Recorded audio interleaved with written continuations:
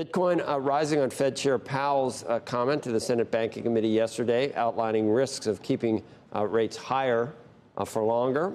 Joining us now, Anthony Pompliano, professional uh, capital management CEO. It's kind of doing what you have always said is possible at, at any time, and that those are large moves up, up and down. Yeah. I think we're getting down into the 40s, or this is it already? No, I, I mean, look, prices go down because there's more sellers than buyers, obviously. Um, and so the question is who's selling? And there's really two main culprits at the moment. Uh, the German government has about 50,000 Bitcoin that they seized from a pirating website, uh, and they've been trying to offload it. Uh, what's interesting about it, if you look at the on chain data, is they're basically going to as many exchanges as they can and trying to sell.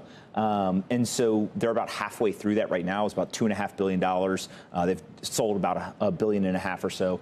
Um, and then there's also the Mt. Gox Bitcoin that's been distributed. And so I think people more so are scared hey, if there's billions of dollars being distributed back, are these people who have been illiquid for years just going to sell it? What's really interesting about this is Bitcoin is still very illiquid. And so there's most of the Bitcoin that is out there being held by people that have a long term view. And so when a seller shows up with just a couple billion dollars, the price will go down. Now, if I told you someone was going to come sell billions of dollars and the price was only going to go down to $55,000 or so, that's actually pretty bullish, right? I, I, think that people are looking at this and saying, hey, look, Bitcoin is still pretty healthy. How illiquid do you think the market is? I mean, we, we always talk about the, the whales who have the wallets yeah. that have been sitting there forever since the inception of Bitcoin, but how, do you, how big do you think it is at this point? At, at the start of this year, uh, the amount of Bitcoin that had not moved in over a year was over 70%. Um, 70%. So very high. Now, as the price has risen, some of that has started to get distributed, which is what you would expect in a bull market. And so really the question right now is basically, you know, how strong are those hands and will they outlast the German government? Will they outlast these, you know, Mt. Gox uh, distributions? And so my expectation is as we get further into the bull market, that number will come back down towards 50, 55%. But still, at least half of the Bitcoin probably is being held by people who have a 10 plus year time horizon.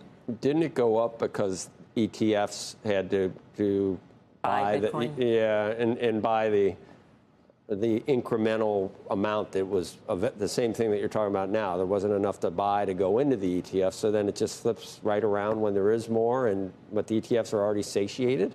Yeah, I think that there's a huge uh, part of like Bitcoin is a free market asset, and so naturally, when an ETF gets approved, there's a bunch of people who are very excited. The media is talking about it. People rush in. But you needed to buy Bitcoin to go into the ETFs, right? And there weren't that many for sale. C- correct. And so about 80% of those flows now, after people have analyzed it, appear to be retail, not actual institutions going in yet. And so I've talked to a lot of folks who run RIAs or, or large institutions, and it takes a while for them to go through their investment process, underwrite the risks, approve, and then allocate. And so my expectation is kind of the second half of this year, maybe you know end of Q3, beginning of Q4, we'll start to see a lot more of the institutional flows uh, into those ETFs, um, and also the basis trade. There was a lot of people who were going long Bitcoin, short the futures, uh, and as that spread has come down, less and less people are saying, hey, I should go put that trade on. And so it's just a very dynamic market with a lot of inputs and, you know, trying to stay on top of it. Uh, I still think Bitcoin's got a very good future ahead of it. So you got Congress, they, they're trying to do things, right, for clarity. And you've got a Biden Trump election, uh, theoretically, I don't know, uh, at this point. Um, how does that factor into the, the, regulatory environment for yeah. Bitcoin right now? Is it positive or negative? Donald Trump has positioned himself as a pro Bitcoin, pro crypto candidate. really? And look, you know, I actually think that uh, if you watch his public comments, he has followed pretty much the exact thought process and journey that most Bitcoiners follow. At first, yeah. you hear about it, you're like, "There's no way this could be real. This is a scam. There's probably criminals using this, etc."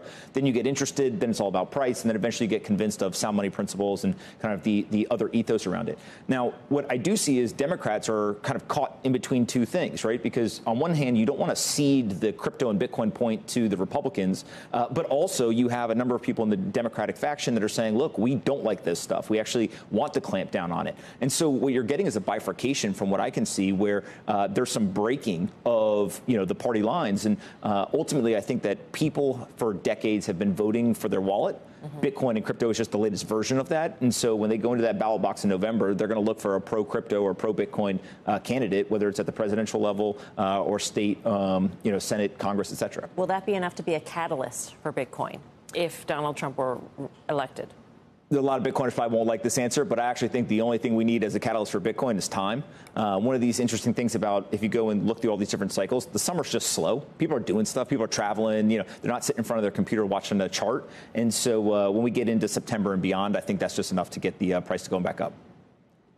There, we're still with just the store value, though. That's enough for you right now. We're still not sending it to relatives over in Ukraine or Yeah. something. Uh, Again, maybe not a popular answer, but uh, Bitcoin definitely has won the store of value, you know, in the crypto asset class. Uh, but stable coins are winning the medium of exchange, and I think that um, if you look at the data, stable coins now do just as much volume as Visa, and ultimately, people want an asset that if they go and they spend it or they send it to a friend, it's not going to be worth two, three, four x more in the future, right? And so dollars, they believe, are going to actually be worth less in the future, and so it makes sense that they want to spend the dollars on a blockchain Okay. uh, and then hold Bitcoin to store the you don't want to buy that pizza instead of a Bugatti, right? It's better to use dollars and hold your Bitcoin than it is to uh, do the opposite.